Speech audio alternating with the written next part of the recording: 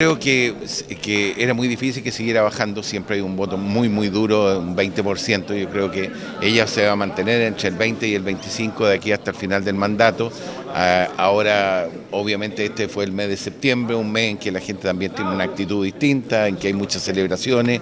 y esperemos que la presidenta se mantenga aquí. La verdad es que yo creo que es muy malo para el país que siga bajando, yo creo que... Eh, por lo menos tener una aprobación de un 20 o un 25 quiere decir que hay un cuarto, de, un cuarto de las personas que eh, aprueba su gestión y bueno, yo creo que es lo mínimo que podemos pedirle a un presidente de la República.